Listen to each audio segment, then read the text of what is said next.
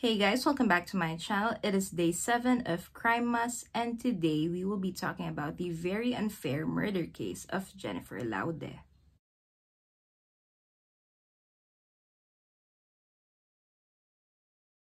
Jennifer Laude was born on November 4th, 1986 in Olongapo City, Philippines.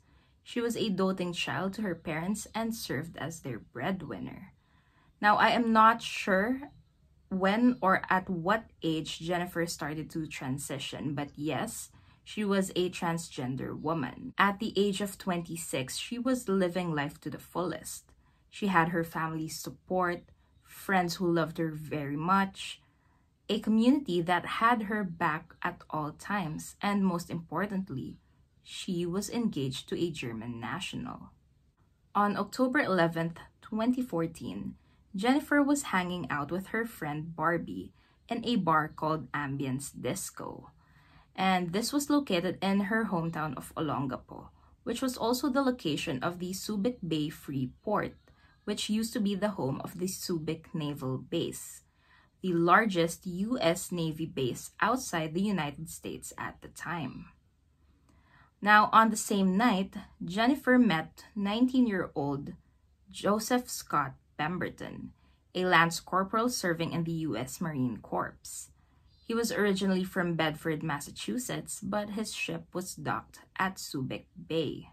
The two headed off and decided to go to a nearby motel. Jennifer's friend Barbie also had her own companion. The two pairs decided to check into the Celzone Lodge and went into their separate rooms. Thirty minutes later, Pemberton left the hotel leaving the door slightly ajar.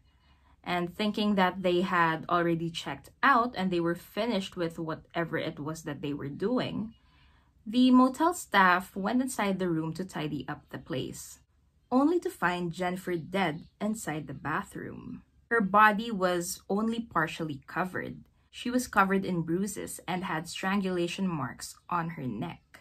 And on top of all that, her head was also submerged in the toilet bowl. Her body was taken for an autopsy, and it was later revealed that her official cause of death was asphyxiation by drowning. Now, arresting Pemberton was easy. He was immediately identified as Jennifer's companion that night because the staff and Jennifer's friend Barbie saw him.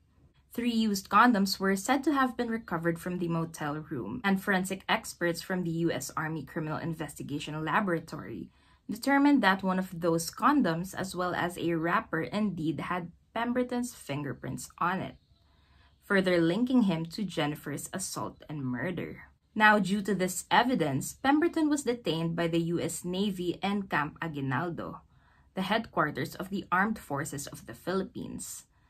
On December 15, 2014, he was charged with murder due to the presence of treachery, cruelty, and abuse of superior strength. He tried to appeal this but was denied. He also entered a not guilty plea, saying that he only acted in self-defense. The members of the media were completely banned from the courtroom as this case was already the talk of the whole country. Now, the Laude family was also allegedly offered 21 million pesos or 468,000 US dollars to lower the charge from murder to homicide, but rejected the money and instead sought out for justice to be served. However, on December 1, 2015, the Olongapo Regional Trial Court found Pemberton guilty of homicide and not murder, citing mitigating circumstances including Jennifer not disclosing her gender identity. Joseph Scott Pemberton, who took an innocent woman's life, was given a sentence of 6 to 12 years. And according to the prosecutor, the killing only accounted to homicide and did not meet the standards for murder. And in the court's view, Pemberton acted out of passion.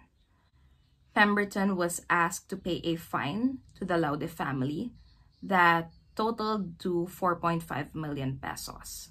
So that was 50,000 pesos for civil indemnities, 4.3 million for loss of earning capacity, 155,000 for funeral and burial expenses, 50,000 for moral damages, and 30,000 for exemplary damages. On March 2016, Pemberton was denied bail.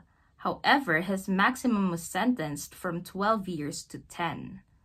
And on September 2, 2020, the Olongapo Regional Trial Court granted his motion of reconsideration, therefore releasing him from prison. Five days later, then President Rodrigo Duterte granted him an absolute pardon. According to the American Marine Corps, Pemberton would be facing a court martial upon returning to the United States to determine if he would receive additional punishment and whether he is qualified to remain in the service. However, this did not happen, and Joseph Scott Pemberton, who murdered an innocent woman just in 2014, is now a free man. Pemberton, who brutally took 26-year-old Jennifer Laude's life, never issued an apology to the Laude family. He was never even remorseful and just kept on justifying his actions based on the fact that he did not know that Jennifer was a transgender woman when he asked her to come with him to the motel. And honestly, this case really infuriates me and a lot of people here in the Philippines. And this has caused a lot of rallies to happen, but to no avail. Um, and that's all that I have for you guys for today's video. I would really love to hear your thoughts on this case and should there be any other case that you would like for me to cover, please let me know by leaving a comment. Thank you so much for tuning in and I will see you guys tomorrow.